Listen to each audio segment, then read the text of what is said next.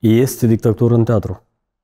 Este, Este. este. Când ultima dată ai dat mită? Că asta înseamnă că tu scuipi în uh, sufletul omului, scuipi în banii omului. Tu te consideri un om uh, traumat? Ce ocazie m-am născut eu în viața asta, în țara asta, Nu trebuie să te pui rău cu Dodonă, că pe el îți dă peste cap și văpșea să ne închid teatru, înțelegi? când vă iau să ne dezbine, vă iau să ne induc uh, alte culturi. Ei nu trebuie să fie docili. Asta este inteligența noastră. Ei sunt exemple. Dacă ar exista o altă lume, m-aș bucura și acolo de buna dumneavoastră companie. Și bărbații îi plâng câteodată. Nu pot să răspund la întrebarea asta. Prea multă vanitate în Sodom Văd cum flacăra înghetei întregul Babilon Mm. Bună dimineața, Gheorghe Deșteaptă-l pe Ivo Eu, ca țăran cu o clasă, care nu prea merg pe la teatru și în general, da? Dar, uh, uite, uh, doamna Laura mă duce la teatru, adică m-a dus la teatru recent, ca un pic să mă educ și să mă cultiveze. Uh, Și am mers noi la teatru Eugen Ionescu, da? unde am privit uh, monospectacolul uh, Adi, da? unde tu ai jucat, uh, uh, ai jucat rolul lui Adolf uh, Hitler. Da. Um, Noi am privit spectacolul, a fost um, foarte fain. Am ieșit de acolo, am mers acasă și prietene, uite, eu atâtea stări, uh, după ce am rugumat toată informația pe care am trăit-o acolo, uh, nu pot spune că n-am avut, dar n-am avut de mult, știi? De la emoții negative până la extaz și tot așa, mai- adică foarte, foarte divers era toată treaba asta. Uh, Și atunci au apărut, uh, au apărut întrebările. Pentru că dacă erau pur și simplu mulțumit, da, de ce am văzut, da, și satisfăcut, era ok. Mai- Am văzut un spectacol, uh, am mers acasă, m-am, mi-am încărcat bateriile, karma și energia și așa mai departe. Dar, înainte și eu am trecut prin toate stările astea de care eu îți vorbesc, că au apărut întrebări. Punându-mi întrebări, gândul m-a dus la traumă. Spune-mi, te rog frumos, uh, Anatol, uh, ce este trauma pentru tine? Trauma e de diferite feluri. Psihologic, uh, Psihoemoțional, haideți Da. să specificăm. din punctul meu de vedere, ar fi o relație proastă cu apropiații tăi, o relație proastă cu prietenii, cu colegii, cu profesorii și uh, relațiile astea care sunt la un moment dat uh, așa trecute cu vederea, fiind copil, uite că își spun cuvântul pe parcurs, parcurs, parcurs și te trezești un matur cu multe frustrări, cu multe uh, lucruri neînțelese și uh, te consideri neînțeles de oamenii din jur. Deja ori îți pui tu singur întrebări, înțelegi de unde a pornit toată chestia asta, ori deja te adresezi unui psiholog și ăla te ajută. Uh, Tu te consideri un om uh, traumat Da, din sigur. punct de vedere uh, psihoemoțional? Da, da, eu de multe ori mă trezesc în multe situații în care mă întreb de unde vine asta. Aha, ok, vine de acolo. De unde vine uh, o altă manifestare de-a mea, așa involuntară, neexplicabilă, după care îmi pun întrebări și găsesc și izvorul. Uneori se întâmplă, de fapt, tare rar se întâmplă să găsesc izvorul. Dar când găsesc, îmi, uh, parcă prind mai mult curaj, îmi dau seama că e un lucru explicabil și atunci mergem mai departe. Și are rădăcina lui, adică dacă îți pui întrebări, e, cumva ți se explică și... Da, da, da, da. Și rațional am înțeles, ok. Și atunci când mă ciocnesc de o chestie da, în care se manifestă trauma asta, uh, nu sunt atât de speriat, pentru că eu știu de, vine, de unde vine asta. Ok. Um, tu ți-ai petrecut copilăria la Buicani, Da. pe strada Eugen Coca, Mhm. într-o, uh, într-o casă uh, cu multe etaje, uh, de, uh, deci într-o casă de tip cămin. Da. Sau de tip cămin familiar și, și ceva Da, de genul ăsta cămin, era da, acolo. așa. Uh, Era doar bucătăria comună. Da, în da, da, rest, da. Uh, Spune-mi, te rog frumos, cum, uh, uh, cum a fost copilăria ta anume în, în zona respectivă? Eu am avut noroc că peste drum era tavan uh, parcul de Gândraru. Draru. Da, și uh, eu mi cred eu, asociez parcul de intrare cum uh, la țară ar fi pădurea, uh, câmpul și era destul să sărim gardul, că E- nu era o Eu vreau chestie. să întreb, tu sări gardul? Sărim gardul, dar uneori știi care era faza? Că noi nu sărim gardul, erau chiar găuri. Gaură. Da, și era foarte ușor. Noi ori sărim gardul, ori prin găurile alea, pătrundem în uh, parc și ne distram, ne jucam de tot, absolut tot. Fotbal, armat, uh, de-a prinselea, era acolo și jungla mea, deci erau niște zone în care noi ne imaginam că suntem în junglă. Da, era, era ceva. Eu cred că parcul de intrare m-a salvat și am simțit un pic din viața de la sat. Da. Total de acord. Uh, Tu că să înțelegi, noi ulterior am, uh, am aflat că de fapt uh, uh, noi ne cunoaștem de mult, mai de mult, noi doi. Mhm. Uh, De mai bine de 17 ani. Mhm. Da. Eu tot am trăit uh, exact în casa în care tu ai trăit. E, La etajul 11, Aha. așa. Um, și e, cătând în, în, în străfondurile e, minții mele, e, eu ori mi-aduc aminte, ori aș fi vrut să mi-aduc aminte cum tu erai, dar era un băiețel negruț, destul de e, năntuț, e, e, comparativ vârstii și un pic flocos. Nu știu dacă e, asociația asta este corect. Eu nu știu dacă asta este o, o amintire sau este, este o fantasmă pe care eu aș vrea să mi-o astea. Dar e, noi avem oameni pe care tu cu siguranță îi cunoști, comuni, da? Deci ulterior am vorbit despre asta sau în afara interviului. Dar asta așa a fost un apropo. Spune-mi, te rog frumos, e, cu ce se ocupa mămica e, ta în perioada aceea, în perioada copilăriei mai exact, în perioada în care tu trăiei acolo, Ian, e, care era? Din câte eu țin minte, mama, când uh, deja am început și eu să înțeleg ce, ce înseamnă viață, să înțeleg ce se întâmplă în jurul meu, asta cam se întâmplă pe la 4-5 ani. Uh, Mama era angajată la o fabrică de păpuși, a schimb, după care a fost angajată la Parlament în calitate de gardorbilieră, după care servitoare. Uh, Și uite că servitoarea a rămas cam în funcția asta, dar deja schimbând locul de muncă. Spune-mi, te rog frumos, cum interacționai tu cu uh, copiii de vârsta ta? Pentru că din ce mi-aduc eu aminte erau mulți copii e, acolo și care era relația ta cu copiii un pic mai mari? Um, pentru că din uh, experiența mea uh, din copilărie, noi cumva pe ăștia cu câțiva ani mai mari ca noi aveam ca pe idol și cumva uh, vreau să ne punem bine pe lângă dânsi, dar ei tot timpul ne dea cu piciorul în fund, știi? Și mie mi interesant care era relația ta cu, uh, cu copiii de vârsta ta și relația cu copiii un pic mai, mai mari ca tine. Uh, norocul meu era că, practic, toți prietenii mei din blocul în care locuiam eram cam de aceeași vârstă, nu erau maturi, sau dacă ei erau, practic, erau total uh, izolați de... Ei nu ne luau în seamă.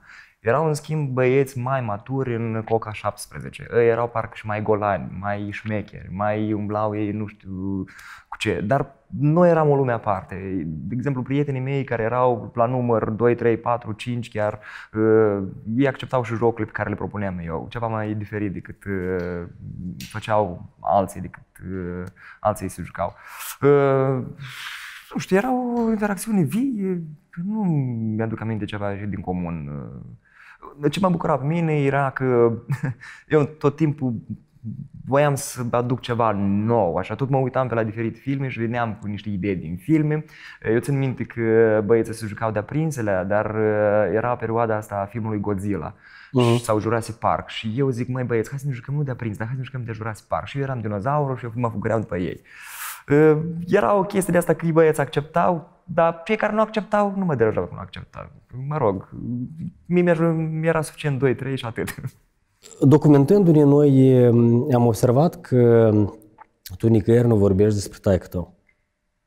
Și atunci e, m, întrebarea mea firească este de ce? Uh, unde e tatăl tău? Uh, și în general, care este rolul lui în, în viața ta? El lucrează și Da, mai- cu tata a fost o relație complicată, dar nu atât cu mine cât cu mama. Mhm. Eu eram unul la părinți, nu aveam și sunt unul la părinți.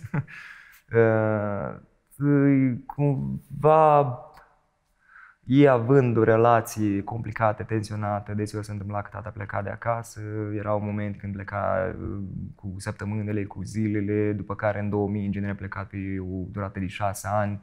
Uh, Eu eram în urmă cu mama. Uh, Tata, în mare măsură, era prezent, dar uh, uh, nu era prezent, să-i spunem așa, uh, în calitatea lui de tată, da, care să, să-și învețe fiul lui uh, anumite lucruri, da? Să- să-l susține. Eu, de exemplu, nu țin minte susținerea din partea tatălui. Uh, Țin minte doar că un singur lucru, că el niciodată nu m-a lovit, nu m-a bătut niciodată. O singură dată s-a întâmplat că m-a împins, așa, dar atunci tot cumva uh, din, dintr-o ceartă cu mama, cumva să arate mamei că el el își educă copilul sau el își pedepsește copilul. Dar niciodată nu m-a lovit, niciodată nu, nu a fost uh, o agresiune din partea lui. Uh, relația lui cu mama cumva a afectat relația mea cu el sau atitudinea lui față de mine. El crezând că având o relație proastă cu mama, zice ok, nu mă implic în, în educația copilului, el stă lângă cu mama, eu plec și îmi caut de viață. Așa că nu a plecat? Definitiv? De la începutul anilor 2000 a plecat cam o perioadă lungă de timp, Uh-huh. da? și s-a întors peste ani. Nu mai țin minte exact, cred că prin 2005, cam, cam în anul ăla. Ok, s-a întors și acum uh, faci parte din viața voastră sau... Nu, el s-a întors, uh, s-a împăcat cu mama și a locuit nu știu câți ani, 2-3 ani probabil, dacă nu mai mulți, după care el iarăși a plecat. El e în, uh, nu e, nu e plecat din țară, pentru că în 2000 el a plecat în genere din țară. Dar acum deja el undeva pe în alte locații la Chișinău sau suburbiile Chișinăului și își caută de viața lui, familia lui. Nu comunicați, da? Deci nu vă sunați, nu vă întâlniți, nu... Nu, aș spune nu. Pentru că ceea ce poate un sunet acolo, asta nu e comunicare. Uh-huh. Deci nu, nu aveți o, o, o relație tată-fiu, uh, fiu-tată? Un fel de ce mai faci, cum la tine, sănătate? Ah, De bifă, da? Da, cam așa. Dar uh, asta eu nu cred uh, comunicare între tată și fiu. Uh-huh. Eu mi se pare că el a pierdut momentul când, uh, când trebuia să fie comunicarea aia, pentru că e deja prea târziu. Eu sunt un om în vârstă deja și nu sunt băiatul de 10-13 ani care are nevoie de, de susținere atât a mamei cât și a tatălui. Uh-huh. Ori el taman a plecat exact în perioada când eu avem 13 ani sau 12 ani, dar până la 12 ani erau certuri cu mama, erau lucruri pe care el uh, cumva le omitea și uh, o- a făcut multe lucruri să întârzie. Acum deja, ce? Îl văd ca pe un om care un om uh, matur, care are viața lui, mă leagă legătura asta de sânge, rudenie. Da, și este, sigur că este sentimentul ăsta că mi tată. Te-am simțit un pic uh, supărat pe dânsul, probabil ai, e pe bună dreptate și e- e poziția ta. Mm, În timp ai încercat uh, să-l ierți, să-l uh, accepti așa cum este el, să-i dai drum, să, să vă vedeți de Da, lucrurile da, voastre. nu, dar eu nici nu am nu fost- să trage din urmă nimic care uh, Mm, poate eu nu dau seama. se perpetuă, știi, care se... Uh, nu știu, eu uneori eu mă trezeam în situații în care îmi ziceam, zic, măi, uh, relația, când s-a împăcat a doua oară, când s-a împăcat a doua oară, ziceam că nu trebuie să locuiască împreună. Oamenii ăștia nu se mai suportă unul pe altul, ei trebuie să se dispartă, să-și caute de viața lor. Și mă bucur foarte mult când s-a întâmplat. M-am bucurat când s-a întâmplat lucrul ăsta, pentru că ei schinuiau, eu vedeam cum ei schinuie și nu era chestia asta, oh, nu, tata a plecat sau nu, așa că au plecat, au plecat. Și caută de viață, mă bucur că și-au găsit acolo uh, un furnizor de familie sau mama respectiv tot așa. Prea multă vanitate în Sodom Văd cum flacăra înghetei întregul Babilon mm. În uh, descrierea um, spectacolului, monospectacolului Adi, uh, se vorbea despre co- complexul eudipian. Uh, Dacă poți, dacă vrei, dacă uh, cunoști, poți să-mi uh, spui câteva lucruri despre acest complex și care este... Copilul depinde de mamă, Mhm. mm, o iubește foarte mult, este unica ființă, crede el în viața lui, care, care e în stare să-l iubească și o să-l iubească până la, până la moarte, Mhm. indiferent, chiar dacă este ea deja plecată în lumea celor repți. Cam asta este. Crezi că uh, la Hitler, în viziunea lui uh, uh, domnul Cheianu, uh, acest complex s-a transformat într-o patologie? și uh, ulterior uh, a devenit o manie toată treaba asta. Cum a scris, după cum a scris domnul Chianu. Exact, după cum a scris el. Da, după cum a scris el, sigur. Acolo foarte bine se evidențiază lucrul ăsta. Foarte bine. Și, practic, unica persoană, ar spune eu, care el discută deschis, liber, e o confesiune. Și culmea e că el cumva își justifică toate lucrurile pe care le-a făcut el. El nu-și cere iertare, el nu are păreri de rău, dar el chiar zice la urmă, da, dacă ar exista o altă lume, m-aș bucura și acolo de buna dumneavoastră companie. Deci ceea ce înseamnă că el ar face același lucru. Ori pe parcursul spectacolului, având el intimitatea asta cu mama, da, în imaginația lui, sigur că el era practic în dialog cu ea, chiar dacă ea era moartă. Sau poate chiar, cine știe, poate chiar era moartea cu, cu el, crezând că e mama. La urmă, da, când mama îl cheamă, îl cheamă de acolo, de sus. Deși eu am pus întrebarea pe, pe, pe, referitor la, la traumă, eu am văzut în, în tine o sclipire de geniu. Pentru că un om simplu sau un actor simplu sau prin faptul că eu nu merg la, la teatru și e mult spus, dar asta este părerea mea și este subiectivă, eu pot, eu pot să-mi permit asemenea lux, da? da? Pentru că nu poate oricine să te înducă în stări care noi le-am trăit la, la acel spectacol. De asta i-am întrebat despre traumă, de asta am întrebat despre relația cu taică de asta, de asta ulterior o să întreb despre relația cu maică pentru că nu poți uh, pur și simplu să retrăiești, să intri în pielea unui uh, psihopat mm, și să... Uh, uitându-mă dintr-o parte, la un moment dat, eu trăsături a feță am văzut, da? Uh, din micile mele uh, de astea, deci tu atât de tare ai intrat în, în rol și ai, um, ai scos chestia asta. Eu întrebam uh, pe Laura ulterior, el când ținea discursuri, saleva, știi? Uh-huh. Tu tot ai făcut chestia asta și eu întrebam, tu asta faci conștient sau, uh-huh. sau asta din, din, da? Nu, nu, nu e că în asta este genialitatea. Prin asta eu am simțit văltoarea asta și farmecul. Eu nu. gresc în locul tău. Dacă, de exemplu, noi am fi ținut cont de orice mecanism a corpului nostru, noi practic ne-am pierde în lumea asta, noi n-am putea străi. Și trebuie să-i dai drumul la, la emoții, trebuie să-i dai drumul, da, sunt niște condiții propuse, da, spectacolului, uh, ții cont de condițiile astea, după care gata, să începe viața, pulsează viața. Uh-huh. Pulsează viața uneori, dar uh, este așa o chestie, că nu rațiunea, dar ceea ce e subconștient îți, uh, îți vorbește despre caracterul tău. Și în spectacol cam fix așa, dacă tu rațional ai să începi să joci, atunci jocul o să fie superficial. Dar tu trebuie să dai drumul subconștientului. Și de acolo ies multe lucruri. Și într-adevăr, poate ai, nu când ai dreptate, așa și este. Relația mea cu mama, cumva, involuntar, i-am ajutat să exact. mai mult în exact. pielea personajului, pentru că și el a avut o relație aparte cu mama. Exact. Bine, n-am avut-o eu cum a avut-o el. Deci eu am avut o relație altă cu tata, dar el a avut o relație mai dură cu tata.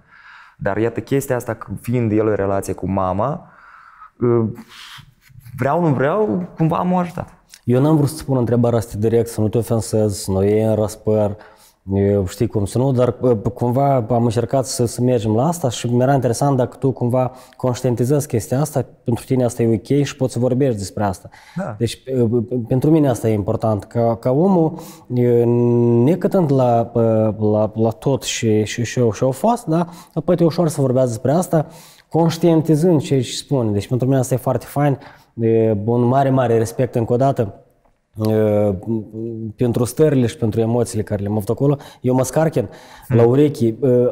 Eu acolo, la spectacol, mi-am mâncat mâna, mi-am mâncat picioarele. E că eu vorbesc și eu cumva în șiciorul mă, mă, mă duc în, în stările și ele și asta e și Asta bucură. Da, da. Pe mine, ca actor, super, pe mine ca actor, super, asta mă bucură. Pentru super, că... super fain.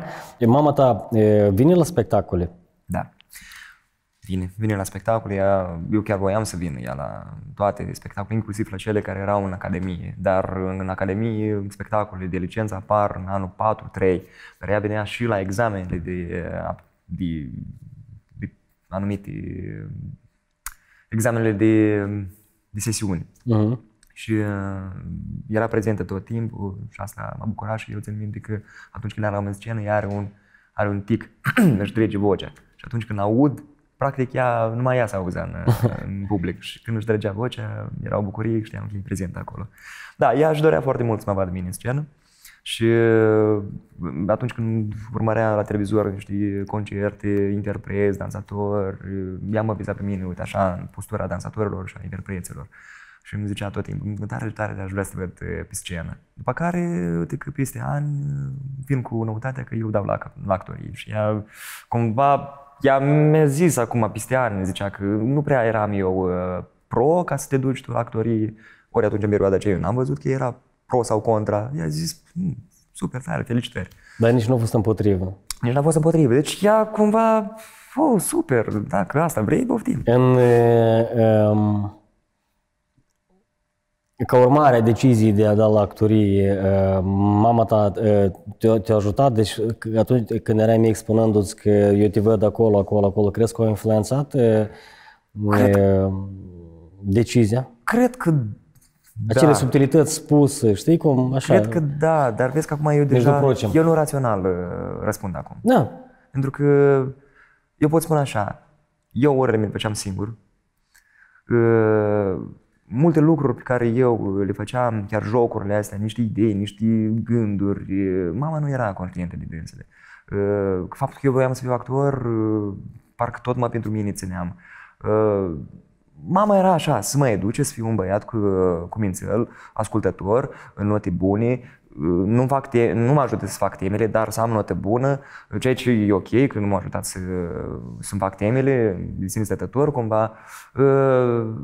Și cumva aveam o latură, să simt, acum am dau seama că eu aveam o latură așa mai independentă, chiar dacă mama era, mama era tot timpul prin preajmă. Parcă era un bodyguard care să se întâmple nimic cu fiul ei, să, să o ia pe calea cea dreaptă. Și totodată am calea mea independentă. Iată, cumva, asta era. Tole, în 2013 ai oferit un interviu uh, unde spuneai că vrei să faci uh, masterat pe psihotare. Și întrebarea este dacă ai făcut masteratul pe psihotare și deși, deși, deși aveai gândul că trebuie să-l faci pe psihotare și aici nu e ok. După Academie, noi, noi, noi, adică eu și doi colegi, trei colegi noștri, din, uh, din Academie, păi uh, voiam să ducem în uh, România, la Târgu Mureș, pentru că era un festival Class Fest, prima ediție și noi am rămas încântați de băieții de acolo. Pur să mai auzit multe lucruri frumoase despre Academia de acolo, universitatea și cât de profesioniști atârnă și profesori și pedagogii și regizorii și actorii care lucrează și studenții. Și eu practic mă visam acolo. Din câte am înțeles, ă, atunci nu era posibil deoarece basarabienii puteau doar să-și facă studiile superioare, dar nu și de master. Ă, credeam noi cumva că este o posibilitate, nu a anunțat lectorul de la universitate, că a rămas încântată de dorința noastră, dar din păcate legea spune, spunea atunci că masterul nu puteai să-l faci în România, fiind tu cetățean Republicii Moldova.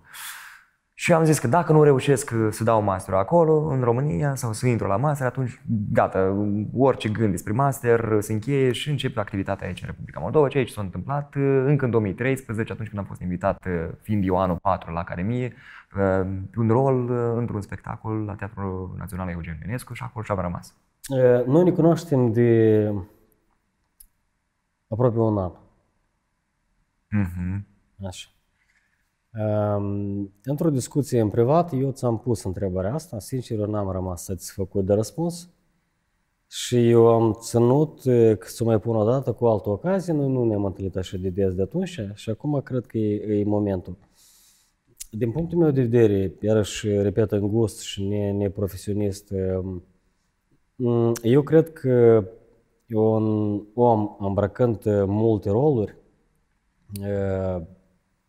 rolul și lasă amprenta lui în, în personalitatea umană. Și mie mi-a părut întrebarea uh, cum e să fii om când ești actor?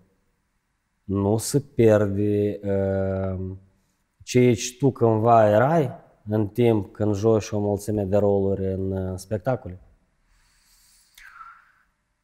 Eu n-aș putea spune că am lucrat după metodă, așa cum e primit să vorbească pe la Hollywood, prin Europa, actorii care joacă mai ales în filme, dar cunoaștem Christian Bale, cât de bine el să uh, spune într-un rol, acolo merge până la, de la fizic până la psihologic.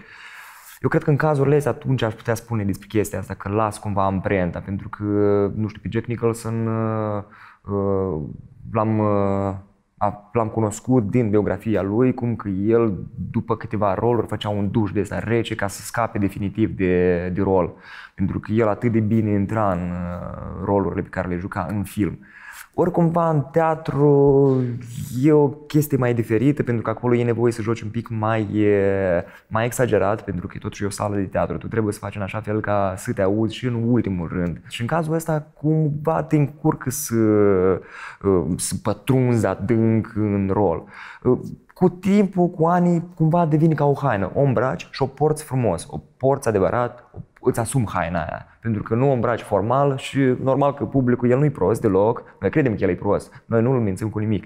El o să vadă, mm-hmm, nu-l atinge, cum ai spus tu, m-a atins ceva.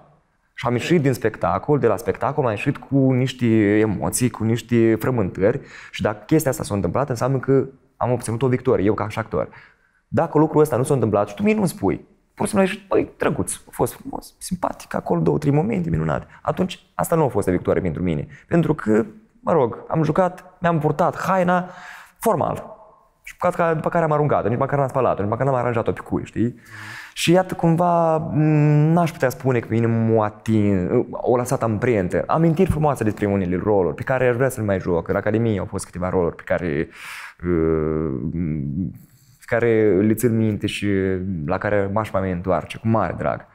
Uh, dar psihologic, uneori mi se pare mie că prea mult sunt eu în rolurile astea. Bine, că e nevoie, psihologic, e nevoie ca tu, n-ai, nu poți să fii tu un uh, uh, bandit, de exemplu, da? sau Hitler, nu poți tu să fii Hitler. Tu cumva trebuie să găsești niște similitudini de emoții la tine cu ale lui, pentru că emoția e emoția, emoția de ură e ură, emoția de fericire e aceeași emoție, chimic se întâmplă aceleași reacții. Pur și simplu el urăște sau se bucură de anumite lucruri, eu mă bucur de alte lucruri, dar chimic în interior sunt aceleași procese. Și aici niște similitudini găsesc în viața mea personală. Dar uh, atunci când uh, îmi dau seama că fizic sau vocal, diapazonul vocii e mai diferit față de al meu, a personajului, și deseori se întâmplă că eu mai mult sunt acolo decât personajul, asta nu prea îmi place. Și vreau cât mai tare să mă distanțez. E și o vorbă în, în cercul actorilor. Cât mai departe de tine, cu atât mai aproape de personaj. Deci dacă să concluzionăm acum, uh, teoria mea nu e valabilă în cazul uh, teatrului sau în cazul teatrului moldovenesc. Eu pot spune doar din punctul meu de vedere. Okay, da. Poate, nu știu, poate unii actori într-adevăr, de exemplu, sunt uh, actori, nu care sunt până în ziua de azi afectați de un rol și ei se văd în rolul ăla.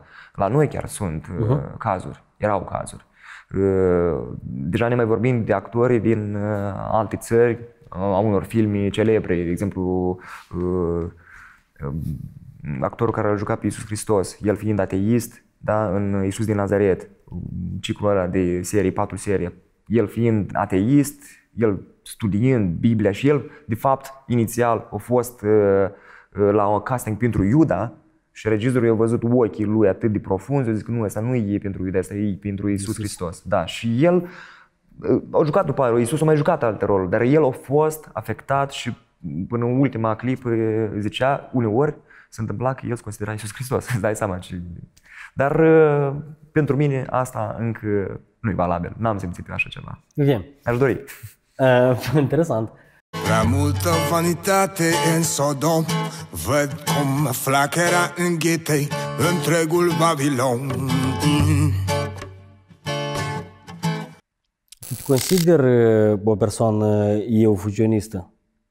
Eu aș spune deci... că la mine echilibrat în cazul ăsta. Mm? Okay. Uh, nu am momente astea când zic, mă, vreau mai repede să ajung în scenă ca să scap cumva de emoțiile pe care le trăiesc în viața reală. Uh, n-am avut așa ceva. Mă bucur foarte mult că l-am avut uh, și nu am, sper să nu am, pentru că um, echilibrul, eu cred că el e esențial în viață. mm, trebuie să fii totuși un hotar. Profesia e profesie, uh-huh. da, ți-o faci cinstit, ți-o faci onest. Uh, viața reală, uneori eu în viața reală uh, se întâmplă să nimeresc ca noi toți de altfel în momente de incertitudine, de, de lucruri pe care te gândești tu că le faci, dar le faci fără niciun sens, uh, îți pui întrebări, ce cat eu aici, ce ocazie m-am născut eu în viața asta, în țara asta. Deseori se întâmplă, mă trezesc, chiar pe bune mă trezesc cu întrebări de genul ăsta, la care nu găsesc răspuns, după care gata, mă iau cu munca, mă iau cu relația cu oamenii din jurul meu și, și mă sustrag. Dar ca să ajung eu să, cu multă înverșunare să joc rapid pe un spectacol ca să scap, să fac așa un duș uh-huh. și să scap de emoțiile în viața reală, nu e așa ceva. Tu ești actor de teatru, prezentator, te-am văzut în uh, reclame TV. Uh, tu poți să te consideri un uh, actor de succes? Depinde ce înseamnă un actor de succes. În percepția și viziunea ta, tu, tu. Ne vorbim acum de tine. Oh. Eu, spre exemplu, te consider dacă mă întrebi pe mine. Dar mm-hmm. acum eu te întreb pe tine. Cred eu atunci când... Recent chiar auzisem tot văzând niște emisiuni a unor actori și cineva din actor le zicea că atunci când tu, e foarte greu să-i faci pe oameni să râdă.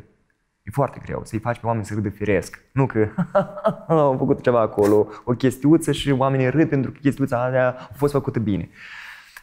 Dar e foarte greu să-i faci pe oameni să râdă firesc și atunci când mie reușește lucrul ăsta la spectacole, fără să, fără să pulsez anumite găguri, niște lucruri așa care îți provoace râsul, să mă duc în zona unor cuvinte necenzurate și oamenii să râd, wow, da, uite că am înțeles la ce face el aluzie sau... Uh, și când uh, cumva prin, uh, printr-un joc mai subtil, cu subtext, cu aluzie la ceva, uh, cu mesajul ascuns care se ascunde în cuvintele mele și în privirea mea și oamenii cumva reacționează la chestia asta, mie mi se pare că mă pot considera un om victorios, dar numai doar în seara aia, pentru că urmează alt spectacol, altă zi. Dacă, de exemplu, obțin o victorie, da? spectacolul reușit, oamenii au ieșit de la spectacol cu emoții pozitive, uh, cu emoții care, care i-au atins cu ceva, atunci seara aia a fost pentru mine ca a unui actor de succes. Tu ești modest. E o calitate rară întâlnită la noi și cumva s-a pierdut din, din sistemele de valori pe care eu cred că ar trebui să le aibă fiecare om. Ți-am înțeles punctul tău de vedere. Eu cred că ești un actor uh, de succes și un om uh, văzut, cu tot uh, de asta eu îmi permit să spun asemenea lucruri. Uite, acum îmi dau seama o chestie, cum am spus eu de lucrul ăsta, și esențial să țin cont de chestia asta. Și eu, dar și ceilalți care îți consideră ei de succes, pentru că îți spun, fiecare percepe chestia asta cu succesul în felul său. Cineva, el îți consideră tot timpul, zi și noapte de succes. Dar când te uiți la ce face el, îți dai seama că sunt momente în care nu se rălucește, sunt momente în care acolo dă în bară. Și, dar el oricum se consideră de succes.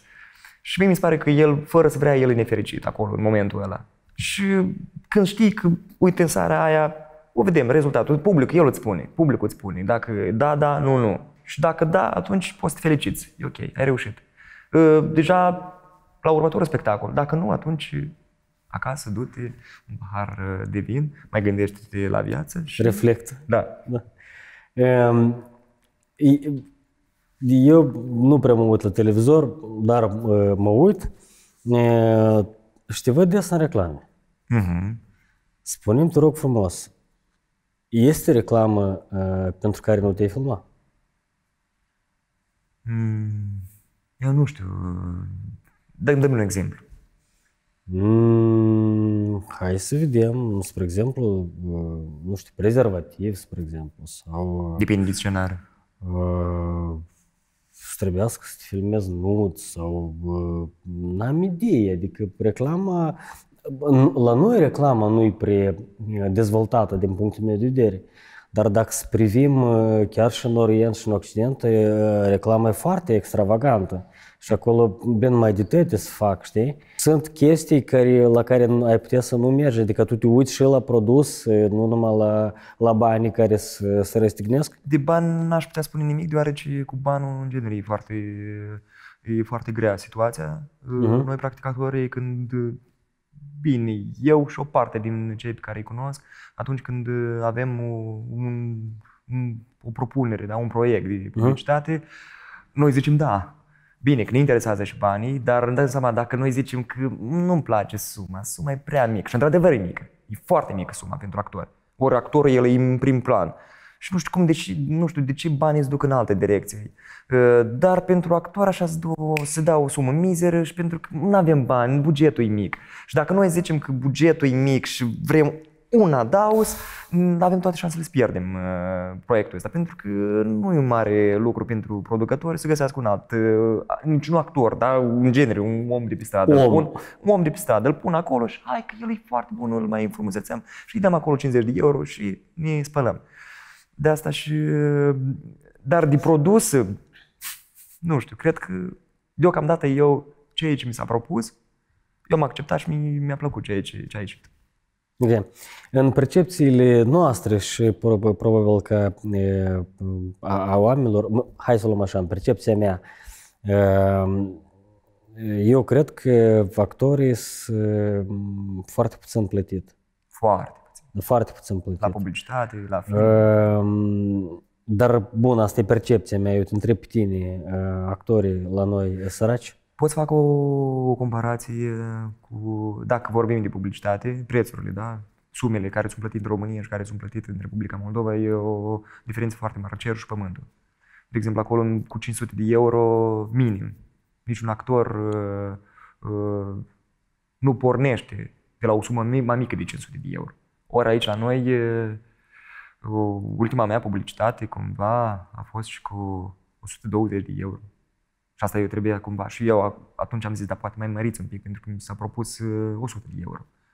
Și pentru mine era așa, ok, da, înțeleg pandemie, cumva situație critică la mai mulți, dar totuși dacă se poate cu 1000 de lei mai mult. Deci o chestie, cumva ne temem să spunem că vrem mai mult, pentru că, așa cum am spus mai devreme, e rapid te, te elimine de una o parte, pentru că, vezi, Doamne, pentru ei mai mult contează bugetul. Actorii în Republica Moldova, sărași? Uh, hai să spun eu din punctul meu de vedere. Eu mai lucrez la TV. Dacă e să fac uh, o comparație între salariul la televiziune și la teatru, e o diferență mare. La televiziune sunt plătit mai mult.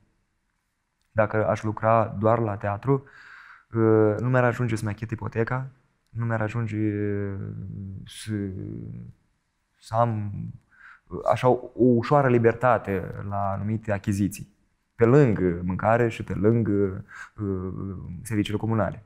Ori deja, dacă mai am și jobul ăsta la televiziune, și în, în concluzie ce pot spune? Că e dificil pentru actor să se hrănească doar din teatru.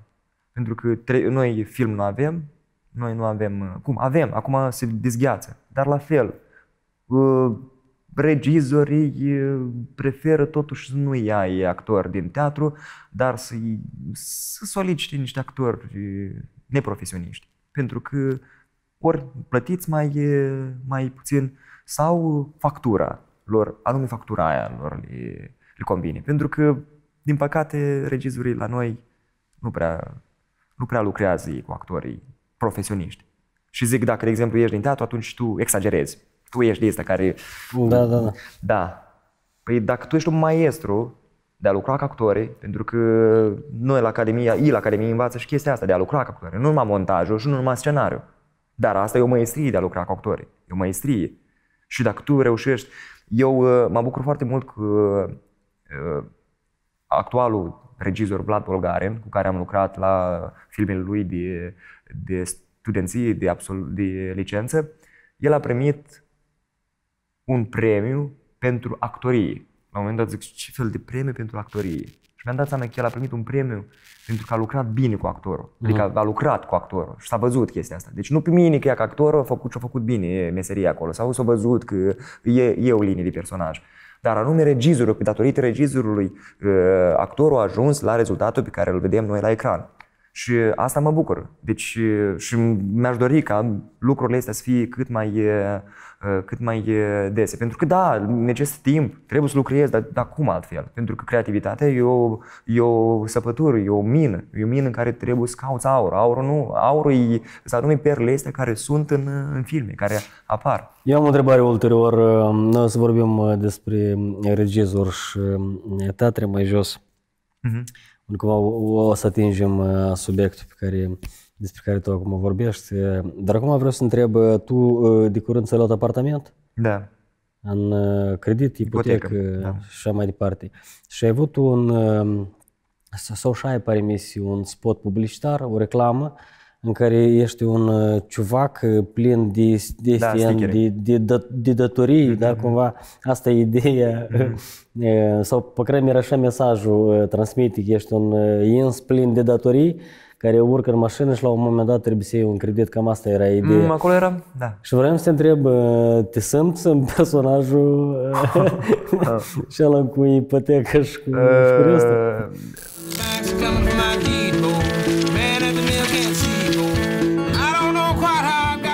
Nu, pentru că trebuie să achit Te descurci. Nu mai descurc. A, da, asta da. era ideea. Da, da, da. Nu e chestia asta că om, nu, nu reușesc, o, de unde să eu să împrumut. Slavă Domnului, chestia asta nu Este o stabilitate? Da, este stabilitate, da. Prea multă vanitate în Sodom Văd cum flacăra înghetei întregul Babilon Eu de curând vorbisem cu un uh, mare actor uh, a teatrului moldovenesc și mm, el, el, el mi-a sugerat întrebarea pe care urmează să o pun.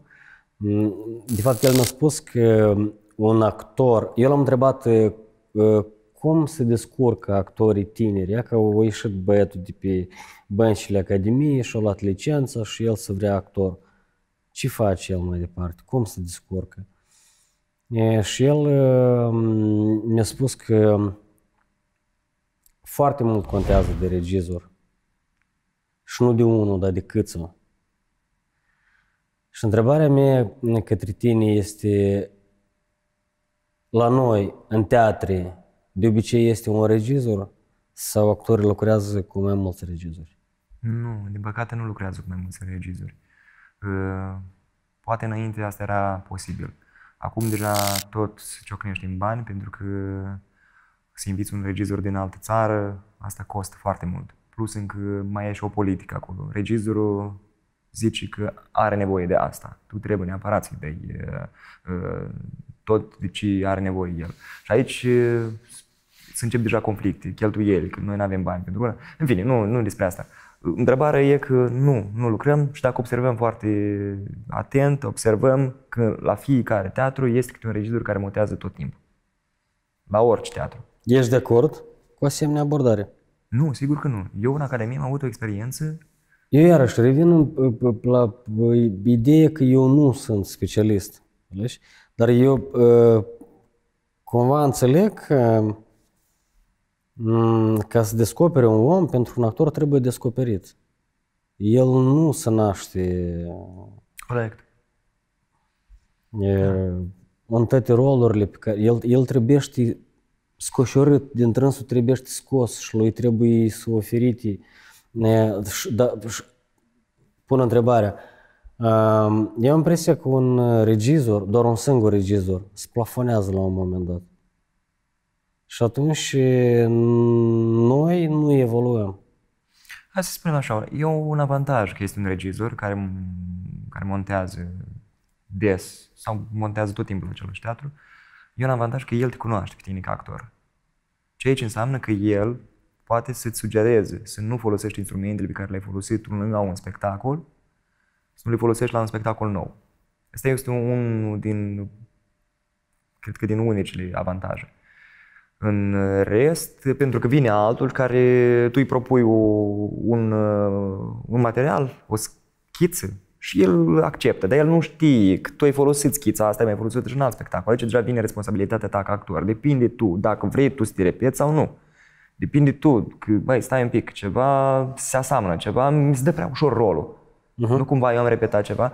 Trebuie să lucrez cu mai mulți. Indiferent, las fi și tineri regizor, las fi și uh, mai în vârstă, cu experiență, fără experiență. Pentru că e, actorul Iarăși mergem la zona asta a inconștientului. El se formează în inconștient, pentru că rațional noi ne dăm seama că, wow, trebuie, e frumos să lucrezi mai mulți regizori, e frumos pentru că tu acolo ai diferite uh, bagaje de cunoștință, dar la nivel rațional nu se păstrează mult timp e nevoie să păstreze la uh, nivel uh, subconștient. Și atunci când tu lucrezi mult, mult, mult, mult, mult, eu am primit și o replică prin 2015, 2014, probabil, nu, 15 sau 16, când noi lucram, am avut o activitate foarte uh, intensă la Teatru Național Eugen Ionescu, acolo montase mai mulți regizori, mai multe spectacole și noi eram și noi cumva uh, actori, chiar toți actorii, cumva puneam întrebări la regizori, la alți regizori care nu făceau parte din alt spectacol. Cum? Cum îți pare? E ok sau nu? Pentru că nu sunt sigur în, în rolul ăla. La care regizorul a făcut o replică. Voi sunteți tare ok în rolul pe care le aveți, voi nu vă dați seama pentru că voi creșteți fără să vă dați seama. Și sigur că e nevoie de experiență, e nevoie să ai experiență cu mai mulți regizori, cu mai mulți oameni. Nu contează, poate fi și proastă experiența asta, dar e nevoie de experiență. Este, este o experiență. Da. Prin da. asta actorul E esențial, crește. asta e muncă. Da, asta e muncă. Dar îți spun, până la urmă, mulți, mulți tineri actori se ciocnesc de problema financiară, pentru că tu m-ai întrebat ce fac Da, ei da, după ce. exact. Norocul meu că eu trăiesc în Chișinău, dar sunt mulți tineri actori care ei vin de suburbii, vin din sate și ei stau aici la gazdă, ei o sumă imensă, mai mult jumătate de salariu îi dau pentru gazdă. Deci niște bani care ei măcar nu-și, nu-și cumpăr. Asta pe lângă comunare. Și e foarte dificil. Da, și atunci ne punem întrebarea, m, deși arta nu este, deși nu este cultură, deși nu este... Da, da, da. da. Cumva lucrurile sunt de la sine înțeles de ce, nu. E trist. Eu am avut foarte mulți. Cum? E altă întrebare. Da. Uh, uite, Tulică, eu te-am văzut pe tine la teatru uh, la loc de cinste. Hm. Pe panou așa la vostru, unde să- acolo stați actori, apropo? Stați actorii teatrului? În foie. Da, da. Da, toți este actorii. un panou da. cu, cu actori. Acolo stați actori, Da, da? toți actorii, da. Deci eu te-am văzut pe tine, în primul rând, sus spus. Și eu l-am catalogat ca loc de cinste. Spune-mi, te rog frumos, când ai ajuns acolo sus. Eu cred că um, acolo s-a luat poate după ani. Cine a venit primii, Mm, nu cred. da, pentru că acolo este, uh, primii sunt cei care au fondat uh, teatru, după care... Eu asta am văzut. Da, Dar nu cred că după vârstă. Uh, nu, nu, nu după vârstă, după vârsta petrecută în, uh, în teatru. Așa, deci, Tinerii au fost cumva la urmă, că cei Corect. care au venit recent. Cei? foarte, foarte corect. Da, păi, da. Ești la loc de cinste. Eu te întreb când tu ai ajuns acolo. A, când ai domnule. ajuns în prima linie. În 2013, 2014, cred că. 2013 2014 Atunci adică când am intrat în, în Cumva primul... de mai de asta... Am, am deja Așa. în spate Până niște și, și, și vocea ta se aude pe, Da, da, da, da, pe, pentru pe fundal când să, să vină recomandările astea pandemii și Da, da, da, da, da. Vă rog frumos, purtați mască. Dar pentru asta se plătesc? dezinfectați. Nu, de ce? Nu, e- E faci voluntariat? parte, faci parte, faci parte din... de pentru teatru fac asta. Am înțeles. De fapt, eu sunt angajatul teatrului și actorul nu doar uh, uh, fizic, da, lucrează. El lucrează și cu vocea. Ok. Ce lipsește teatrului moldovenesc în secolul 21? Oh, da. Uh, Pe lângă faptul că lipsește uh, niște clădiri în condiții bune, da? Să nu fie problema cu acoperișul, să nu fie problema cu scena, să nu fie problema acolo cu costumiera, cu atelierele, cu, nu cu costumiera, cu costumele, cu banii. Uh-huh. Pe lângă toate chestia asta, mie mi se pare că lipsește colaborarea asta între teatre, între actori, între artiști. Deci să fie așa un mușuroi, pentru că fiecare cu mușuroiul lui, fiecare cu bisericuța lui, uh, bisericuța cu tare, critică bisericuța cu tare, uh, dar nu e o colaborare strânsă între eu mâine îmi plec, mie tare îmi place să mă duc la colegii mei de breasă în alte teatre, la spectacole lor, să văd ce fac ei. Și nu din interes ia să vedem cum ei dau în bară, nu, nu e asta, pentru că majoritatea, o parte din uh, actori se duc acolo, ia să vedem cât de prost e spectacolul ăsta. Și să-și umple așa orgoliu că, ei, la ei tot e prost, tot e ok să nu la mine, nu știu cum. Uh, Dar uh, tare aș fi vrut să fie colaborarea asta. Din păcate nu e colaborarea asta. Nu știu cum, ori orgoliu acolo e pus pe prim plan, pentru că sunt artiști. Artiștii sunt foarte sensibili, creatorii sunt foarte sensibili. Aici mă refer la, la regizori, la cei care sunt în fruntea teatrelor. Uh, Și atât comunicarea asta cam lipsește. Ori dacă ea există, dar ea există așa foarte subțire, foarte abia se vede. Uh, nu știu, În rândul tinerilor actori, tu ai găsit uh, sau te-ai întâlnit cu oameni care gândesc ca tine? Adică cumva, uh, nu știu, în rus e din omâșlinic, în română Dar, nu e.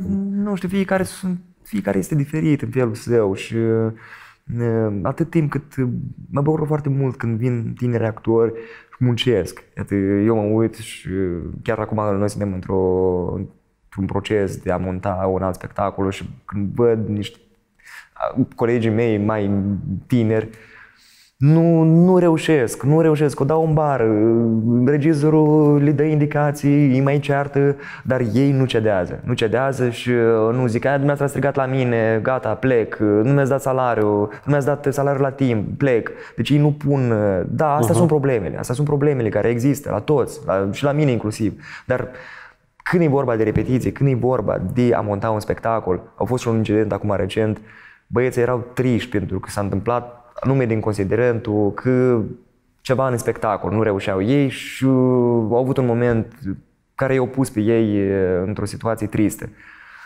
Erau triști anume pentru că nu le ieșea rolul și după care a doua zi s-a schimbat situația, macazul, ei s-au eliberat și hai, parcă îi dai drumul la pasăre și zboară, parcă o prins aripi.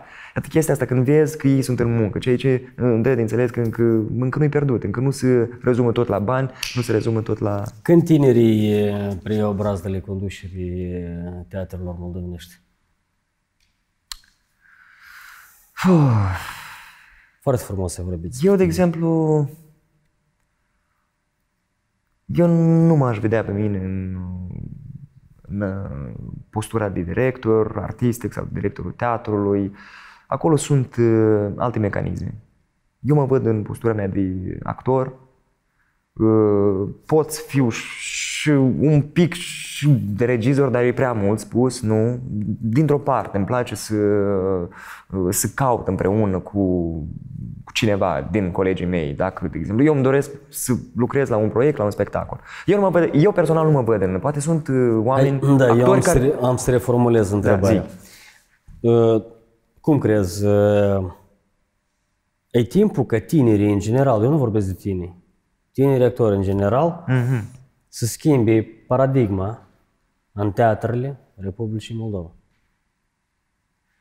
Iarăși mă repet, e părerea mea subiectivă, eu cred că noi cumva ne-am plafonat. Cumva am rămas Dar depinde acolo de- și cumva ne fierbem. Depinde de schimbările astea, ce schimbări ne dorim noi. Orice schimbare este schimbare. Pentru că dacă e să, să vedem cam care este sistemul teatral la noi, la noi majoritatea teatrele sunt uh, de repertoriu. Teatru de repertoriu în Europa practic nu există. În America tot nu există. Ce au rămas numai Broadway, dar acolo tot, tot este pe proiecte. Depinde de schimbare. Pentru Că... că Eu am să spun ce schimbare cred eu că ar trebui să fie în asta. Uh, Noi ducem o mare și mare, mare lipsă de cultură și de educație. Catastrofală. Eu vorbesc de, naț- de, de națiune. Da? Și pentru mine um, educația și cultura astea sunt um, lucrurile de bază care ar trebui să fondeze generațiile noastre. Da? Ele trebuie să ne formeze pe noi, bun. Noi suntem caz nefericit, da- nefericit, dar ăștia din urmă trebuie să se întâmple chestia asta. Deși eu aș vrea ca tinerii, să- eu aș vrea, spre exemplu, ca voi, ca Teatrul Eugen Ionescu, să vă duceți în, uh, în raioane, să jucați spectacole, ca lumea să facă cunoștință, că lumea să trăiască emoțiile pe care eu le-am trăit, pentru că lumea nu poate veni la Chișinău, noi facem nu asta. poate și permite. Noi facem asta de foarte Nu rar. suficient. Nu, da, asta e rar. Asta e, ins, asta e insuficient. prieteni, Toți înțelegi? ciocnești în bani. Și noi sunt, exact. Și atunci, în momentul în care uh, nu ajung bani, ce faci? Te duci și te adresezi cui? Statului. Dar la noi asta nu se întâmplă și ți explic de ce. Pentru că nu trebuie să te pui rău cu, uh, cu cine, cu tâcă, blete, a fost, cine a fost, Dodon a fost eu, bă, vrut, înțelegi? Nu trebuie să te pui rău cu Dodon, că pe el îți dă peste cap și văpșea să ne închid teatru, înțelegi? Pe când uh, teatru și actorii uh, fac parte din inteligență, ăștia sunt primii oameni care trebuie să opună rezistență. Înțelegi? Ei trebuie să manifeste. Ei nu trebuie să fie docili. Asta este inteligența noastră. Ei sunt exemple. Da? Pentru toți.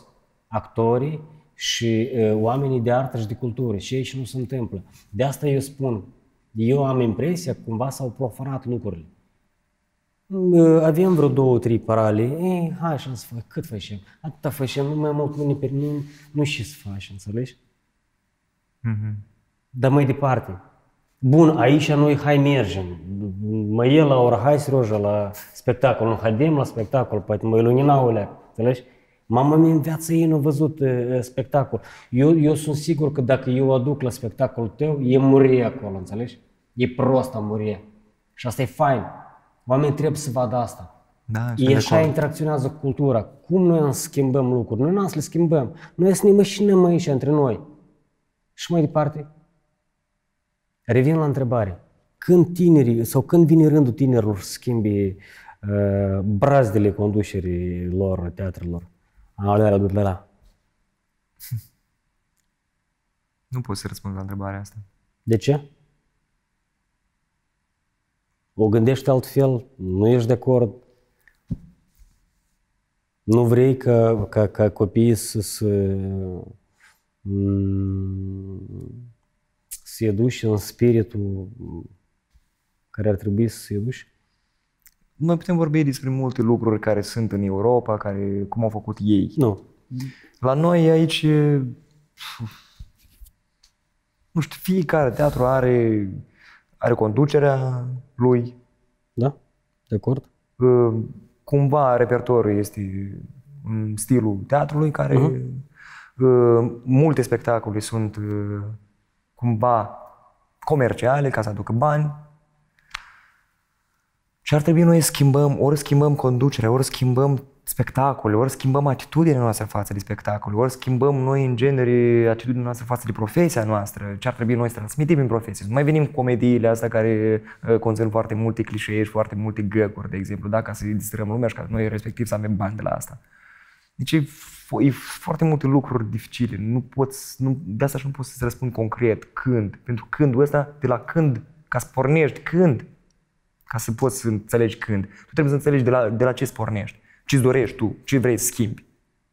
Pentru că eu, de exemplu, încerc în spectacolele pe care le joc eu, ă, teatrul tot timpul a fost o oglindă a societății. Deci nu trebuie să, tu nu poți să educi pe nimeni aici. Omul trebuie să se vadă acolo. Dar nu, nu, nu era vorba de educație. Nu, nu, îți spun. De asta sunt foarte multe lucruri. Și noi, eu, de exemplu, sunt derutat, nu înțeleg de la ce îți pornești. De la ce îți pornești? Schimbarea asta, de unde pornești? Ca să înțelegem noi destinația, noi trebuie să înțelegem uh, ca, care este și calea. Ori calea asta, plus încă tineri, nu- tu zici de tineri, dar ani în șir tineri, existau și tineri în ani și tot cumva la același sistem am ajuns. Adică tot acolo am rămas. Dar ceilalți, pur și simplu, prin Eu- spectacole. Eu doar am pus o întrebare. Eu nu sunt din Breaslă. Eu cumva din Nu poți, exterior, chiar nu cumva poți, așa. pentru că e e tare haotic, e hao, anume ce trebuie schimbat. Prea multă vanitate în Sodom Văd cum flacăra înghetei întregul Babilon Mm. Este dictatură în teatru. Este. Este? Este, Cum da. se manifestă? Ea se manifestă acum, știi care e faza? Acum se manifestă foarte, foarte ușor. Foarte atent se manifestă. Uh-huh. Da, sunt niște... Deci directorul mai este cumva director, este manager. Termenul s-a schimbat, dar oricum el rămâne director, oricum el hotărăște lucrurile. uh, Adică... Dar oricum, uh, știi care e faza? Mm, Se simte așa o, o ușoară uh, dezghețare a lucrurilor. Uh-huh. E o comisie acolo care hotărăște anumite lucruri și se discută, deci directorul împreună, deci nu el, el ia hotărârea, nu ia ca eu cum am hotărât, așa o să fie, dar comisia asta cumva votează prin vot, adică e o chestie, e, hai să spunem așa, democratică. Dic- Dictatura un pic, uh, ori ea uh, să asculte după chestia asta, ori, uh, ori ea cumva ușor, ușor cedează în fața unor uh, De când nu e lucruri libere. directorul la, uh, sau manager, da? Nu Mhm. e corect director să spui. La Teatrul Eugen Ionescu. Acolo s-au schimbat foarte mulți. Sunt mulți, da? Da, s-a Deci schimbat. este un proces democratic. Da. În ultimul timp. Cât, A, cât- nu, s-a schimbat. Eu când, uh, De când tu când ești? am început, a zis, măi, s-au schimbat patru directori. Ah. Da, deci cumva Bine, asta e o chestie interesantă. Eu, apropo, nu știam despre asta. Păi, da, Băi, s-a asta schimbat. este un proces Da, democratic. da, și vezi, și vezi cumva uh, niște lucruri diferite da, în perioada aia. Da, da, da. Adică vezi, vezi niște schimbări. Exact. Niște schimbări, Dar... dar... Despre asta vorbeam că ne... Bun, nu vreau să dau nume ca să intrăm în detalii, Mhm, da, dar da, da. sunt teatre care au de 30 de ani și ești, sau de mai bine de 30 de Da, ani și ești da. manager, așa acolo e, cum spun, francez jopeu, înțelegi? Nici așa, nici așa, adică... Mm. Dar, pe ansamblu, vreau să spun o chestie. Sistemul e aceeași. Sistemul e același. Da, eu- Noi suntem teatrul de eu- repertoriu. Teatrul de repertoriu, îți spun, asta înseamnă o trupă stabilă, niște spectacole care pot fi jucate de zeci, zeci de ani, pot fi jucate 10 ani la rând, ori în Europa sau în America, un spectacol se joacă maxim 3 luni. Îți dai seama, 3 luni. Ori noi avem spectacole care se joacă de 20 de ani, de 30 de ani. Deci, indiferent de directorul care vine, el o să meargă pe aceeași, uh, pe, pe aceeași schemă. Că e teatru de repertoriu, de exemplu, eu ca actor nu pot să colaborez cu alt teatru, pentru că eu sunt prins la un teatru. Teatru de repertoriu care are o, o trupă stabilă. Și iată colaborarea asta pe care eu mi-o doresc, nu pot să o, să o fac, pentru că eu sunt prins aici, eu sunt prins acolo, acolo eu sunt soldat. Dar tu ai vrea. Da, sigur, ar vrea să fie. Da, indiferent de ce spun oamenii despre alte spectacole, despre alte teatruri, eu aș vrea să colaborez cu teatrul ăla. Văd cum e. Da, experiența poate fi proastă, dar vreau să, experiență. să văd cum e. E, Doar mai sus vorbeam despre p- faptul că a, actorul trebuie să redescopere Da. și ca, să, ca el să redescopere are nevoie de mâini diferite. Da. Ca să scoată din trânsul și ei și e, el mă, s-ar putea să nu poată.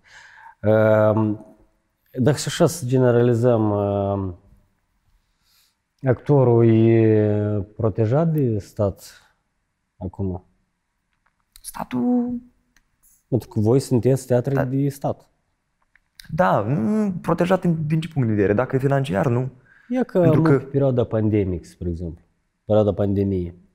Salariile la noi e, vin în proporție de 40, 60, 80, 90 de procente, nu știu.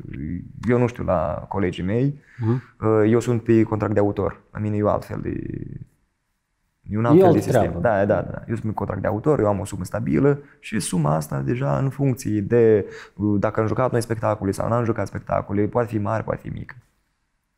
Adică la capitolul. Dar uh, colegii mei care sunt angajați la stat, evident, da, uh, contract de muncă, uh, au, vin, sunt salarii. Da, Deci- sunt și momente în care zic că sunt mai mici sa- salariile față de lunile precedente, dar uh, bani vin. Nu, nu, am grăit că actorul e sărac, așa că nu știu cum. Da, oricum problemele rămân aceleași, indiferent de sumele care vin. Da. Pur și simplu sumele dacă sunt mai mici și problemele sunt mai mari. Tu le spune te rog frumos, când ultima dată ai dat mită? Mm. Cred că...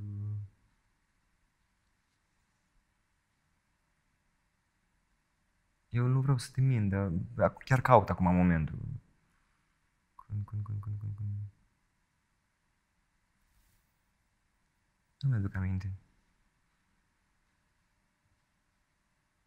Hai să spunem, nu știu, poate știind că e asta, cred că în 2012. 2012. Da, știm, știind că e un act de... Da, poți să deschizi parantezele și să-mi spui despre ce e vorba? Acolo cu permis, dar eu n-am permis. Pur și simplu mi-am dat seama că trebuie de făcut cu forțele proprii. Uh-huh. Da. Uh, ok. E, la medic mergi des? Când e nevoie, 50 de lei leș? nu. Niciodată. Mm. Interesant. Ah, bravo. Uh, noi tot nu dăm mit. Noi, familia Grigore, nu dă mit. De asta și apare și întrebarea asta. Dar, mit, nu da. da. Nu, dar cum altfel să-i spui? Ha, sau hai, de să reformulăm. uh, Altfel cum să-i spui? Bani, uh, vodcat, uh, noi, bă, noi putem ge- să generalizăm. Uh, ai luat bani pe contract, spre exemplu, v-ați înțeles, uh, oficial atâta, neoficial atâta, asta Nu, cumva tot da, faci da. parte din, Da, am uh, înțeles din sistem. din, uh, din, uh, Nu, nu, nu, n-am, nu m-am ciocnit cu chestia uh-huh. asta. Uh, zic care faza, eu cumva sunt așa un uh, om care dacă sunt niște principii, de exemplu, sunt niște reguli. Regulile astea, dacă am promis cuiva, îi zic, uh-huh. măi, uite, un lucru, indiferent, l-am promis, eu trebuie să mă țin de promisiune. Uh-huh. Și nici o altă chestie nu o să mă facă mine să, să nu mă țin de promisiunea asta. Dar acolo deja nu știu ce poate să se întâmple să nu mă țin de... Și respectiv, dacă eu trebuie să achit uh, comunalele, eu nu lăs pe altul, cumva trebuie să fac în așa fel ca eu până la urmă să achit comunalele. Este un exemplu uh, de... Dacă, de exemplu, eu mă, îți aduc un produs de calitate, păi tu, respectiv, achită-mă cum trebuie. Respectiv, îmi dai și tu mie, mă, mă, ai tu niște, de exemplu, eu, ca actor, și regizorul tot timpul spune că uh, jucați 100 de procente, jucați 90 de procente, jucați cinstit, jucați corect, pentru că omul ăla a achitat bani și uh, faptul că voi nu vă simțiți bine, că voi aveți probleme, pe dânsul nu-l interesează. Asta cumva tot ar s-ar ei nu mă simt eu bine, azi nu am joc eu. Adică asta înseamnă că tu scuipi în uh, sufletul omului, exact. scuipi în banii omului și nu te interesează, a, că el a muncit pentru asta, și eu muncesc, eu tot muncesc și eu tot am zi proastă. Nu, nu, nu contează. Trebuie să-ți faci munca cinstit, trebuie să fii cinstit cu tine însuți în primul rând. Noi în Gretul mai sus despre educație și uh, cultură. Uh, ce ar face Anatol Guzic, la concret, ca să ajungă uh, el ca actor sau teatru uh, moldovenesc în școlile uh, din, uh, din țară, ca copiii să vadă adevărata artă și cum să mănâncă toată treaba asta. Acum deja sunt foarte multe cercuri teatrale în diferite școli. Chestia asta nu era pe timpul meu. Eu uh-huh. chiar spuneam, acum recent vorbeam cu cineva, zic, măi, a, chiar în școala medie, care acum deja e liceu, uh-huh. am avut interviu cu o angajată a liceului dat și ea predă acolo vioara. Zic eu, pe timpul meu, pentru că doar fanfara era. Mai mult nimic. Ori acolo e și vioară, și pian, și cerc teatral. Vin actori din alte teatre și îi predau uh, uh, elevilor uh, actorie. Uh, e un alt pericol că astea sunt oricum cercuri teatrale și copii, deja asta depinde de pedagog trebuie să fii foarte atent, pentru că ei pot, într-adevăr, uh, să-și dorească să vrea, să-și dorească să devină actori. Și când ajung la Academie, ei deja sunt e, uh, cumva ștampilați, că baba se face așa, că regina așa, uh, și e foarte greu. Tot timpul pedagogii de la Academie vor material crud, material din care să faci ceva. Dacă vin elevi de la cercuri teatrale, ei deja ușor sunt formați, deja sunt cumva uh, anchilozați. Asta și o provocare pentru pedagogii da. de la Academie. Da, da, da. Ca, o, pe, da, pe, provocare corect, dar provocare trebuie să fie și pentru, nici nu atât provocare cât responsabilitatea celor care predă în școli. Că sunt actori care de la alte teatre. Și nu, ei știu chestia asta. oameni ce trebuie să fie pregătiți de, de către ăștia de la Academie. Noi păi, vorbim ei cu... sunt pregătiți. Hai... Actori, actori formați din Academia mm. noastră. Sunt alții care au făcut școală în alte țări și ei vin și predau, dar să pre, predea elevilor, numai ca să facă niște bănișori acolo și uh, să fie o bif acolo, că am și un surplus de bani uh, și să facă niște scenuțe, niște scenete, n-ar fi cam corect. Adică n-ar fi corect în uh, raport cu elevii ăștia care mâine pe mâine ei se ridesc și vor să devină actori și când uh, ajung la academie, uh, o comisie de acolo îi spune că, a, din păcate, tu nu puteți face nimic cu tine pentru că tu ai luat-o pe altă cale. Și acolo e greu deja de bătut pentru că e cimentat. Eu am întâlnit așa colegi ai mei care, sau potențiali colegi care n-au fost acceptați. Și nu au fost chip să-i remodelez? Să-i... Nu, din păcate. Nu. Așa au rămas? Da, bine, zic potențial, zic potențial care au, eu eram am asistat la, la examenele de intrare. Și mm, cei din comisie spun, fă rog frumos o babă. Cum o babă? Și s-au văzut, eu am spus că eu am făcut uh, cerc teatral și au vrut să verifice dacă cercul ăla teatral nu, nu a afectat-o. Uh-huh. Și într-adevăr a afectat-o. Eu am văzut cu ochii mei cum e face o babă cu stâne de șele și cu doare capul și un pic e, e cu grebă în spate. Dar cum trebuie să fie o babă? Stai un pic, că e, e o situație. Poate, o babă poate fi la privire, deja îți dai seama că ea e bătrână. Sau cum, cum ia paharul ăsta de vin, deja e bătrână. Da, nu e neapărat stremuri, nu e neapărat, nu toate babele tremură. Dar clișeele sunt. Of, doamne, nu mai pot. Deja e clișeu și deja e greu deja să scoți chestia asta din, dintr-un potențial actor de succes. Uite, eu, uh, și când am început interviul, ți-am spus că eu am foarte mari emoții. Da, și asta se Și eu am somatizează. emoții. Asta ca să înțelegi, se somatizează, dar pe mine azi m-a durut inima. Inima m-a durut. Eu... La um, propriu. Da? Și, da, și aproape de a începe interviul am avut diaree și deci cumva de, deci tot normal. Um, e, tu ca actor deja cu experiență, dă-mi te rog frumos un sfat, cum eu scap de emoții înainte de a începe În tot primul treaba rând, asta. e bine ca emoții. E foarte bine ca emoții. Uh, În al doilea rând, uh, fiecare actor are tehnica lui de a scăpa de emoții. Mhm. Uh, Un lucru care, care ar ajuta, care ar ajuta, asta nu înseamnă că el dă 100% că ajută, e să te concentrezi asupra scopului tău. Fiecare personaj are un scop, fiecare om are un scop, pentru că atunci când actorul lucrează la un personaj, el începe cu scopul principal al personajului în viață. Ce vrea el în viață? Vrea să devină de om de succes, vrea să devină un om bogat, vrea să iubească, vrea să-și recapete iubirea, vrea să-și recapete energie pe care o pierdut el cu anumiți oameni. Scopul principal. Pentru că dacă ăsta e ghidul pe tot parcursul spectacolului, pe tot parcursul vieții, ai de vorbit cu un om, concentrează asupra discuției. Trebuie să discut cu omul ăsta. În ce format uh, ți-ai pregătit niște puncte acolo, da? de exemplu. Astea sunt puncte de reper. În rest, lasă fie viața, lasă pulseze, lasă respire atmosfera. Mersi frumos. Tare, Sper că a ajutat. știi cum, um, cât are frumos mai grăiește și să mai ajute. Păi eu am spus, nu ajută, fiecare are tehnica lui. Cineva îți gândește la, la viața amoroasă, cineva îți gândește la nu, fructul preferat, la animalul preferat, la omul drag și scapă de emoții în felul ăsta. Dar scapă de emoții care, emoțiile tot timpul trebuie să persiste. Doar pe alea dăunătoare care pulsează și care ar putea să te, să te încurci în proces. Constructivi și destructivi. Da, exact, exact. Ce fel de tip de educație tu ai primit um, acasă? Mm, emoția trebuie să degajată sau uh, reprimată? Cum era? Pentru că știi cum, uh, mamă, băiet, uh, Uh, Certurile părinților uh, au afectat foarte mult asupra educației mele, pentru că eu, în primul rând, am văzut asta. După care comportamentul mamei mele cumva era oricum schimbat față de mine, pentru că eu nu o învinuiesc deloc, eu îmi dau seama că așa e și normal să se întâmple.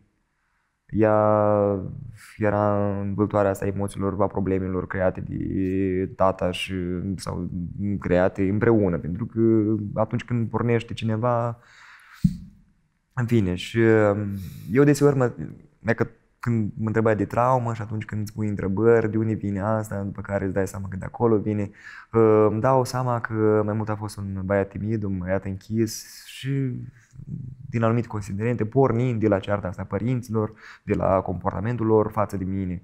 Uh, Eu nu zic uh, că am avut o copilărie grea în care am fost uh, bătut, uh, își băteau joc. Nu, nu, doamne, așa ceva nu există. Pur și simplu oameni ca o, o familie care are și probleme și problemele astea cumva uh, se reflectă și asupra copiilor. Uh, Da, au fost părinții mei undeva neatenți în anumite circunstanțe, dar până la urmă deja eu sunt un om matur, slavă Domnului, gândesc, acum deja am scăpat de toate chestiile astea, copilării mei au rămas uh, în spate, oricum ea trăiește în mine. Oricum sunt emoțiile alea, sunt frustrările alea care uh, cumva au fost crescute pe parcursul copilăriei. Uh, Dar acum deja rațional mă gândesc la ele și uh, deja e ca un întrerupător. Când văd că apare, apăs pentru întrerupător și ele cumva uh, nu dispar, pentru că ele nu dispar. El s-a dus la culcare, a plecat la culcare. um, ideea e că noi trebuie să învățăm să, să trăim cu dânsele. Ele n-au să Dar dispară n-au să dispară niciodată. deloc. O- Oamenii care cred că vor să scape, n-au să scape, îi Este- greșesc amar. Este, este, asta nu e, uh, uh, nu e o chestie operabilă, Da. nu se tratează. Da, da, da, da, asta e ca... Da, eu, dacă tot vorbim de actorie, pe mine mă întreba, dar cum era tu la școală? Dacă tu erai activ la școală, dacă spuneai poezii, participai la toate mm. spectacolele este organizate. Și eu zic, nu, eu practic curajul ăsta care trebuie să-l ai în scenă, l-am obținut odată cu anii de academie. Și mulți mi erau, cum stai un pic, cum, dar cum erai tu în școală? Zic, mă, eram timid, îmi trebuiau, îmi trebuiau pantaloni, efectiv, pentru că uh, odată am fost pus de diriginta mea să anunț ceva în fața colegilor mei, pe care îi cunosc și care, mă rog, uh, și eu aveam așa niște emoții că înghițam uh, toate cuvintele, le înghițam. Spuneam, uh, bună ziua, deci erau emoții de astea grele de, voiam să fiu actor, dar de acolo dorința asta mea era practic stinsă, anume din cauza emoțiilor. Și sigur că, și nu numai pe relația mea cu părinții, dar și relația mea cu colegii. Pentru că erau unii colegi care uh, erau mai deschiși, aveau o relație mai ok cu alții din jur. Știi, și chestia asta parcă tot, ai încercat odată și hop, ai fost respins. Plus uh, să nu uităm de primele noastre uh, povești de dragoste care se nasc anume în școală. Și am avut și eu niște momente de asta așa, de respingere și chestia asta pe mine încă mai tare m-a, m-a inhibat uh, deja în relația cu, uh, cu femeile pe o, o anumită perioadă. Că dacă e să vorbim de asocierea relației femeilor lui Hitler și la mine. Așa. Tot așa cumva au fost, bine, nu ca la el, dar tot așa cumva au fost o perioadă când mă temeam să vorbesc cu o fată, că dacă vorbesc cu dânsa, și chiar când vorbeam, mă aveam niște emoții, parcă aș fi în fața unor, uh, uh unor oameni străini. Și acum ai depășit emoțiile astea? Depășit de mult chestia asta, de mult am depășit-o, dar, uh, dar ea au existat, au existat în anii de școală, au existat foarte mult. De exemplu, eu uh, îmi plăcea foarte mult de o fată și până mă hotăram să mă apropii de ea, trebuia să treacă ani, trebuia să treacă um, valuri de emoții, după care când mă apropiam și deschideam gura, în momentul ăla am fost și respins și în momentul ăla am zis gata, nu mai am niciun succes. Bună dimineața, Gheorghe, deșteaptă-l pe Ivo. Tolea, e... și bărbații plâng câteodată? Plâng, sigur, plâng. Am impresia că plâng mai, mai, mai mult ca femeie. Mai mult ca femeie. Pur și simplu, noi nu dăm pe față. Asta e că asta e o chestie care, de ce să nu dăm pe față? Femeile, Absolut. dar femeile din punctul ăsta... Eu sunt de acord. De, din punctul ăsta femeie... Pur și simplu, eu puțin în lume recunoaște asta, puțin bărbat recunoaște asta, știi? Și de asta și... Când noi suntem bărbați, noi, ce... da, da, da, da, Asta nu mai există, gata. Asta... Da, da, da, Ian, ei femeie lângă tine și te cat în pantaloni tot atunci. Serios. Nu, asta e... De... Dar, na, e fain că sunt bărbați care recunosc chestia asta, care spun asta. Eu, cu... eu spre exemplu, uh, că noi când eram mai, mai tineri, era cu, știi, cum, mă, cum să plăci, nu știi. În timp când cumva se mai lempezește din mințuri, când mai citești o pagină dintr-o carte, când crești și așa mai departe, eu plâng la filme. Da? Eu, tot. Bă, eu mă, mă răschesc, nu așa, mă răschesc. Eu am citit acum, în ziua în care care face un interviu, a citit mm. scenariul al Adriana Vasilcov. Mm. O cunoști, probabil, știu. Nu, eu nu cunosc. Nu cunoști, da? Eu, am, eu o cunosc și mm. am, finalul scenariului pe mine m-a, m-a emoționat și chiar... Ai dat o lacrimă? Da. Super. Da. Mai ales acolo a fost un moment și mm. momentul ăla a fost tare emoționant. Pe final, am trei, noi avem trei întrebări comune pentru, pentru toți invitații noștri. Prima întrebare de final ar fi ce este patriotismul pentru Anatol Guzic? Atunci când ții la cultura ta, când înțelegi care e cultura ta, când înțelegi, când știi care e ea, când știi istoria, știi în ce limbă vorbești, știi care ți sunt eroi, care ți sunt dușmanii, din punct de vedere istoric. Știi care sunt perioadele în care uh, poporul tău a suferit, popor din care faci parte, țară din care faci parte. Uh, știi adevărul istoric. Uh, după care, un alt lucru foarte important pentru mine, și vă repet, atunci când te întâlnești, cu, te întâlnești cu un străin și te întreabă despre țara ta,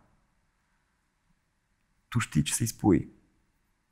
Să te lauzi, pentru că el poate să laude cu cu Bernard Shaw, eu pot să mă laud cu Constantin Chianu. Uh, El poate să laude cu, nu știu, cu, un, uh, cu Shakespeare, eu pot să mă laud, cu Mihai Minescu pot să mă laud. Pentru că eu am cultura mea.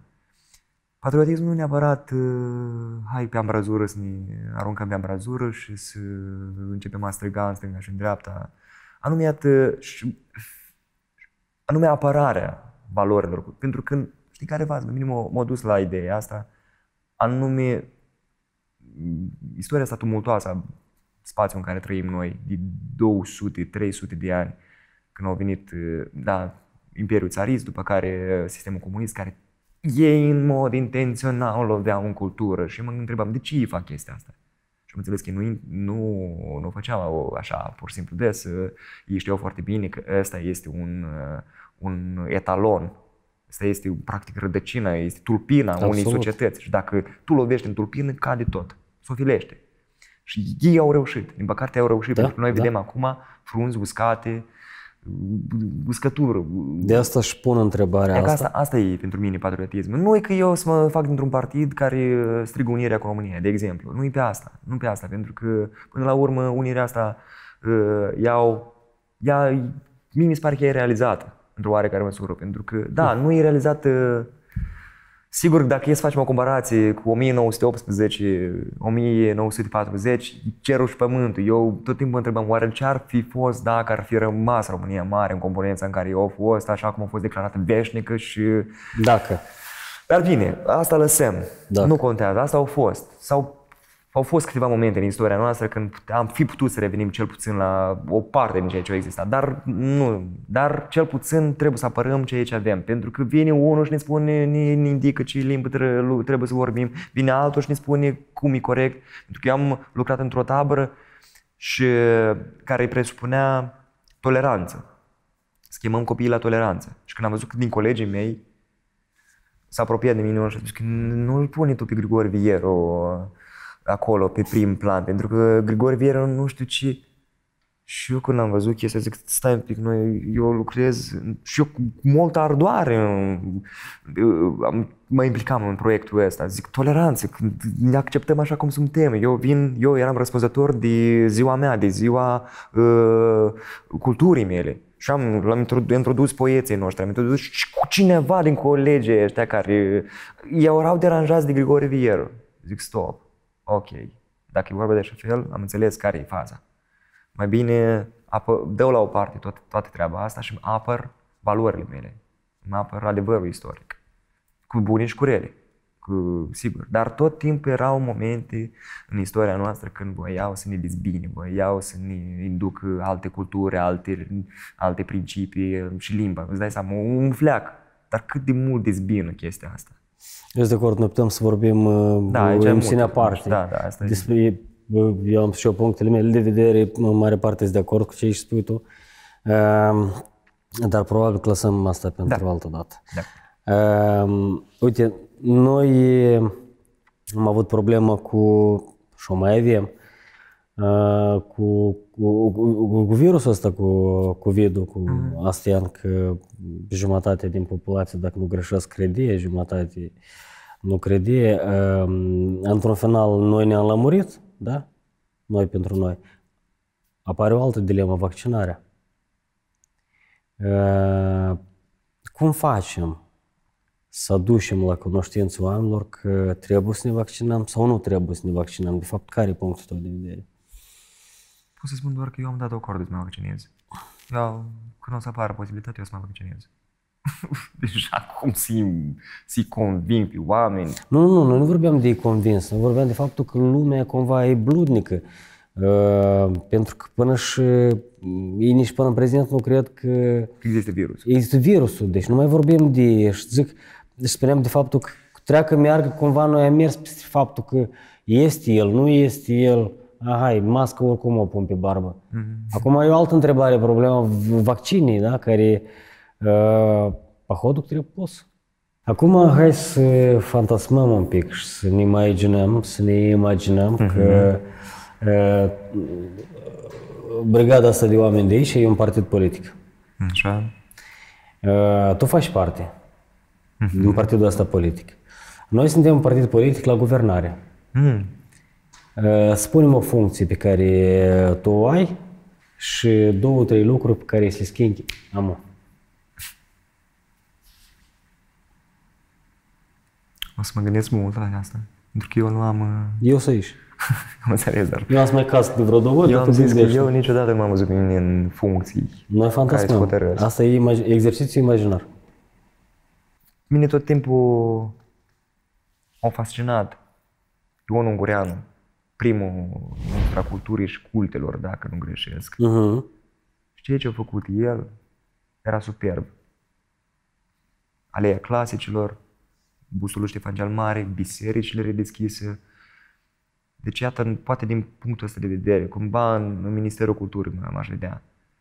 Dar trebuie să ai cunoștințe, trebuie să ai, nici nu cunoștințele, dar uh, să trăiești cu valorile astea pe care tu ai vrea să le vezi implementate. Ori mie mi se pare că nu în perioada aia, datorită lui, noi parcă am revenit la ceea, la ceea ce era până la calvarul ăsta de nu știu câți ani, de 70 de ani sau 60 de ani de comunism în care au trăit părinții noștri, au crescut cu părinții noștri și din păcate eu când îi spun mamei, zic, mamă, vorbești, ea spune chiar în, în moldovnească. Zic, mamă, nu vorbești moldovnească, e dialect moldovnească, vorbești în limba română. Ei, nu știu, nu m-am învățat așa. Și îmi dau seama că acolo, gata, e te- actorul care, spuneam eu ție, care de la cercul de dramatic a venit anchilozat, nu poți mai fac, pentru că e cimentat acolo.